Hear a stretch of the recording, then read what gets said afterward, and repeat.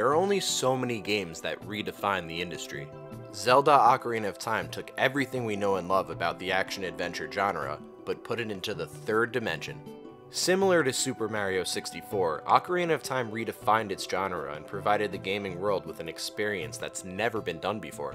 It was unprecedented for its time, hence the name Ocarina of Time. It's really just a timeless game. The beginning might be slow for you modern gamers out there, but like most Zelda games, once you get warmed up and have the controls down, you'll be hooked. If you're not used to the Zelda formula, let me quickly break it down for you. You go from dungeon to dungeon with small tasks in between. Each dungeon gives you a new item that enables you to progress further on your quest to save Hyrule. There's so many reasons why this game is so special, but the main reason why I play Zelda games is specifically due to level design. The first dungeon teaches you about how the gaming mechanic works for Ocarina of Time. This tree opens his mouth and you go inside him. Inside the Deku Tree might be the first dungeon in the game, but I like to think of it more as a tutorial. Since this was the first 3D Zelda game, the developers knew that it was important to make sure gamers understood all these new mechanics. When I arrived, I noticed the web that I was required to break. It became obvious due to the bounciness of the web that I needed to get some height and enough momentum to break it. So naturally, I tried to climb this vine, but only for these spider thingies to throw me off and preventing me to climb any further. There were a couple of other places on this floor that I hadn't checked out yet, so eventually I came across a slingshot. The game forced me how to use the slingshot in the same room because I wasn't able to leave until I could shoot down this ladder. This is a prime example of the game teaching you how to use something without spoon feeding you information. So using the information that I learned, I went back to those pesky spiders and shot their asses down. I was able to safely climb up that vine and then have enough height to break that web. That is the magic of Zelda. Everything in that dungeon existed for a reason and I was able to learn through trial and error and just figuring shit out. Once you get through this tutorial, you leave your little forest and you go to Hyrule Fields, this seemingly endless open world. Even by today's standards, it's a pretty big world, but I would say that it's a big world disguised by a linear story. There are side quests to get you more hearts and certain items that will help you out, but it's far too linear, and I don't even know if there's enough content to consider Ocarina of Time an open world game. That's not to say you don't get rewarded for exploring out of the normal path. Ocarina of Time encourages exploration, and you will get rewarded for it. There are things to collect outside of heart pieces, like golden skulltulas, and you can go fishing. There are enough side quests and mini games throughout your journey to help break up these intense dungeons, like collecting the right chickens in order to get a bottle of milk from Lon Ranch. I'm already getting sidetracked though, so let's get back to the main story. So after you trek the fields of Hyrule, you sneak past some guards and then you go see the princess. You look at some pictures of Mario because Zelda is a gamer apparently, and then you'll have a chat with her. Zelda puts you on a quest to find all of these medallions, because you need them in order to open the Temple of Time. After going through two more dungeons and getting two more medallions, you'll catch Zelda fleeing from the castle on a horse, only to turn around and see this man. Ganondorf. At this point in the game, I already completed three dungeons. I felt pretty powerful, but Ganondorf put Link in his place and kicked his ass. This scene is a direct feeling of the true scale you feel in Ocarina of Time. I already spent hours in this game only to realize I was powerless against the main villain. Ganondorf rides off to try to get Zelda, and as you enter the Temple of Time, you realize you've made a horrible mistake. So you use those medallions to open the Temple of Time, and then you see the Master Sword, so what do you do? You pull it out, right?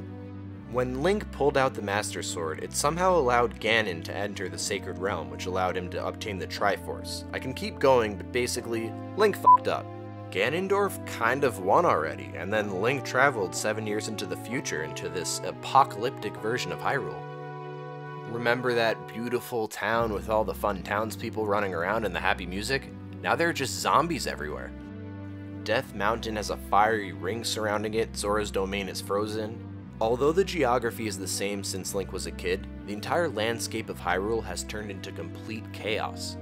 When you go back to Zelda's castle, the same place where you met your girl, you instead see this skyscraper surrounded by a giant moat of lava. Just look at this. Again, Ocarina of Time gave me a sense of scale that I've never felt before in a video game. I thought to myself, how am I supposed to overcome this? But I was hooked. I beat the rest of the dungeons and eventually, I was strong enough to face Ganon head on. Another great example of progression in Ocarina of Time is how the game leads you to the first adult temple, the Forest Temple, but you can't enter it until obtaining the hookshot. This Metroid-style gameplay is filled to the brim in Ocarina of Time. There are plenty of scenarios where you need to backtrack using newly obtained items in order to progress through your journey, but it's always so intuitive that makes you feel like a genius as you sift through your arsenal of items. Games like Zelda and Metroid were doing this years before Ocarina of Time, but to achieve this in the 3D landscape was insane. The time traveling elements are pretty neat. There will be certain dungeons where you need to go back in time as a child to solve certain puzzles that only he can access, and then finish them off as adult Link. You will find yourself traveling through time throughout this playthrough, hence the name, Ocarina of Time. The dungeons are also very distinct from one another. They provide their own atmosphere, from the chilling high-pitched sounds of the Forest Temple, to the ambiance of the Water Temple, to the low-pitched darkness of the Shadow Temple. The dungeons bring their own feel to the game, from both level design and aesthetics. Once you reach the Forest Temple, the first temple as an adult, the difficulty is ramped up and you realize you ain't a kid anymore.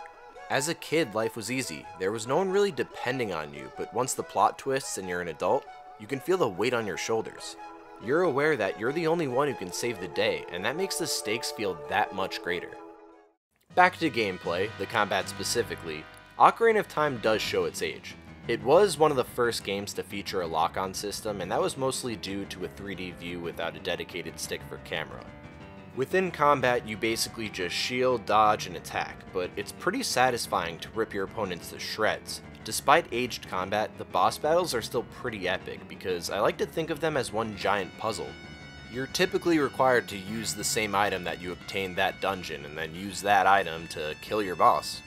The bosses serve as another example of how scary the odds feel because they're larger than life. They seem like they're unbeatable, but then you figure out how to beat them and you feel like you're just the man. On the topic of feeling like the odds are against you, let's go over Ganon's castle, because Ganon's castle is a really, really big deal. It's a big deal beyond just a story and scale perspective. It's a test of every mechanic you've learned throughout your journey into one final showdown. What makes Ganondorf so threatening is beyond the fact that he's so powerful, there's a mystery to him. You only encounter him a couple of times in your journey, and once you're an adult, you know he's waiting for you at the castle, but you don't see him until the end of the game. Before you can even approach Ganondorf, you have to go through a series of rooms that serve as mini dungeons filled with puzzles that incorporate every item that you've ever obtained. Nintendo got very creative through all of these mini dungeons. Once you complete all of the mini dungeons, the barrier will break and you'll be on your way to defeat Ganondorf.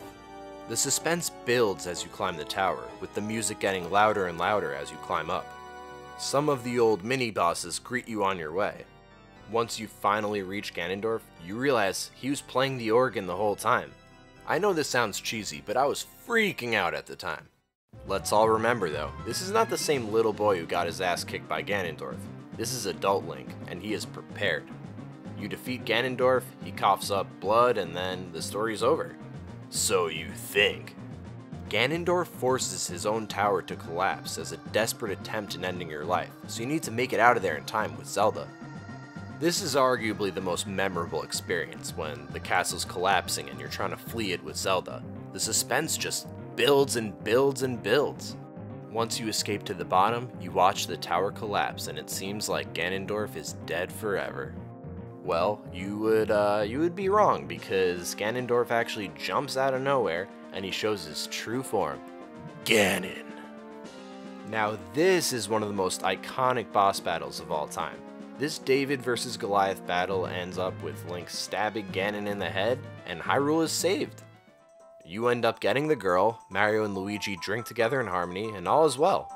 The ending is actually nuts. All the characters you meet throughout your journey end up partying together. It's just a great time. Call me biased, tell me I'm drinking the nostalgic Kool-Aid, I don't care. There will never be a greater ending to a game than Ocarina of Time. What ultimately separates the Zelda series beyond just great level design and puzzles is the constant feeling of scale and progression. You start out the game with no items, no shield, no sword, you're literally powerless. To go from that to the hero of time is an indescribable feeling. Although the main objective is to defeat Ganon and it's beyond satisfying stabbing him in the face, that's not even what I was focused on when I was playing this game. I felt so in the moment, whether it's capturing lost chickens in Kakariko Village or trying to get through the Shadow Temple's drum boss. The world is just so interactive that no matter what you're doing, you always feel like you're getting stronger and overcoming obstacles. I play video games to gain a feeling like I've achieved something. That's why Ocarina of Time means so much to me. You gain a sense of achievement and a sense of accomplishment.